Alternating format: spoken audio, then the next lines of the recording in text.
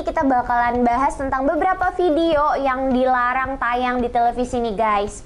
Alasannya sih karena di dalam video ini terdapat kata-kata yang kasar, penyebutan merek yang spesifik, erotisme dan lain-lain guys. Kalian pada kepo nggak sih video apa saja yang sempat dilarang oleh televisi nasional Korea Selatan? Yang pertama, ada Kill This Love dari Blackpink.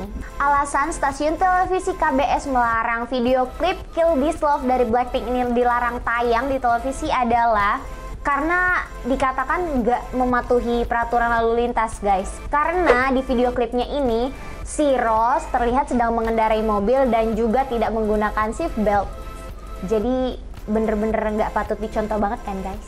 Yang kedua ada Everyday dari Winner.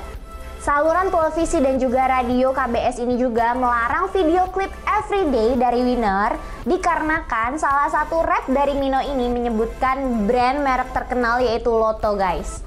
Lotto bener-bener bener-bener mendunia banget kan guys, udah nggak asing lagi kan terdengar di telinga kita.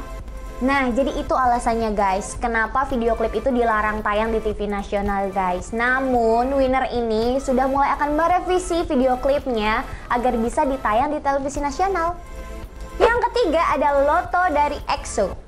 Kejadian yang dirasakan oleh Winner ini juga dirasakan oleh EXO guys. Lagu Loto ini dirilis pada tahun 2016. Kata Loto ini dianggap telah mempromosikan salah satu merek guys. Makanya tim SM Entertainment merubah Loto menjadi Loader guys agar bisa ditayangkan di televisi nasional. Jadi gimana nih guys menurut kalian? Tapi tetap tenang, kalian masih bisa menonton versi aslinya di YouTube. Jangan lupa like, comment, dan subscribe channel Genpi.co. Annyeong!